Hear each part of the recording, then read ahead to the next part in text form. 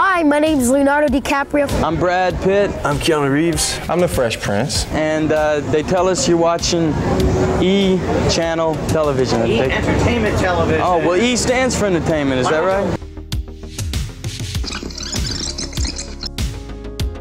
Mask why you're ripping me up here, Professor Bart Cliff? His name's Walker Lovejoy.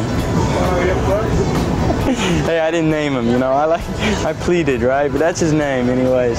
We don't get to pick our names at birth, right? He's a kid who uh, pretty much things came easy to him. You know, we all go through that time, you know, when when we're out on our own now all of a sudden, and uh, we form our own views, and uh, basically it's what the show's about. They just all go on their different routes. What's my character? I don't know. the it. Cat? Did you always want to grow up and be an No, no, I had no idea really, because I grew up in Missouri, Missouri, Missouri, and that's not really an option there, you know. not a whole lot of acting going on in in old Missouri. So how did you get there? Good graces of God, wasn't it? Yes, it was actually. Picked up and moved. I don't know. I wanted to see something more, you know. You drove out, didn't you? Yeah, I drove. That's how it all. That's how it all happened. Yeah, Plans what to do? You yeah. I'm gonna be a truck driver. I'm gonna get a semi and drive trucks. He thinks I'm joking. aspirations to be a producer or director? Or Oh yeah, baby. Oh yeah, no, no. I got other things going on in here. you ready for startup? No, it comes with the territory, but that's not where the satisfaction comes. Look who's here, Will. Hey! Who is he? Uh, basically, uh, a guy named Benny Medina, he's the vice president of A&R of Warner Brothers Records. He came up with the concept because it's loosely his life story. I'm coming from Philadelphia to Bel Air. He went from Watts to Beverly Hills. So, you know, I met him uh, probably oh, eight months ago. You know, he said, gave me his card. He said, look, I want you to give me a call. I got this idea. You know, I want you to, I want you to talk about. So we sat down. We talked about the idea. We decided that, you know, there, you know, the, the man to steamroll this thing for us. You know, one of the strongest black men in America.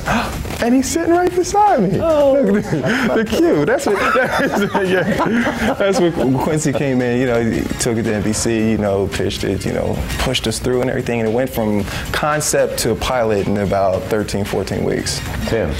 10. Yeah. Oh, that 10. Yeah. 10 weeks. Real fast. That's real quick. like that. How much um, creative input will you have on the show? Well, I pretty much do all my dialogue. You know, it's, it's you know a little, a little difficult for the writers to write. Yo, hi, what's up? You know what it is. I have you know periodic meetings with the writers for different ideas of shows and things like that. So it's very open. He is a, he's an un- unbelievable talent. I had 14 great birthdays without him. He never even sent me a damn card. To hell with him! How come he don't want me, man? The cast is is great and everybody's funny and and there's no egos. That's that's what's good. You know, it's no it, there's no there's no, No. egos on our show. Everybody It's is ensemble. Ensemble. Yeah, absolutely. Ensemble. See now Quincy. See he just came up with that word. How are you going to keep yourself energized? I'm just young. You know, people are talking about oh I need a rest. You know, I, I don't need a rest. Rest when you're 70. That's you right, know? man. You 80. Work. Yeah. My father, you know, he owned his own business. He always taught us, you know, work. You know, what I mean, you can't do nothing sitting around. You know, I'm 21 years old. What I need rest for? How'd you feel when you find out that you got it? I was in like my dad's friend's house and it was like built for a jockey, so it was really like the walls were really short. And when I got the phone call, I jumped up and my fist went through the ceiling. I was so happy. It was like this little plastic thing, but I was really happy about it. I hope everyone out there will watch it, including my two favorite actors, Joe Pesci and Jack Nicholson. I like to act. I think it, it'll get me ahead in life, you know, starting at such a young age. And I like the attention, I must admit, I like the attention. That's pretty much it. And I like to be on TV. be interviewed like this. And I like to be interviewed like this. Do you feel pressured at all about the movie? Well, you know, I, I like that, you know. They could compare me to Leaf Phoenix, who was my other part, you know. It was his, actually, it was him, my other part. And, uh, well, not really, because then maybe they'll watch it because they want to compare me somewhere, you know. Well, yeah.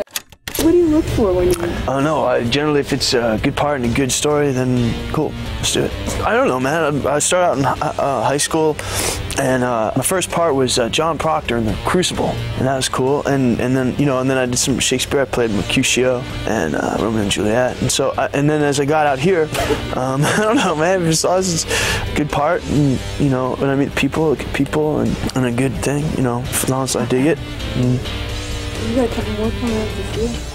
Yes, I do. Can we talk about it a little bit? Okay, uh, um, no. well, yeah, actually, no. You're losing the spotlight, dude. You better get tugged. you better get tugged into it. It's over. When you take roles, I take rolls. when you take roles, I must have that roll. I must have that it. Give me that roll. Whose roll is that? Mine. You can't have it because it's mine. That roll is mine. It is my roll.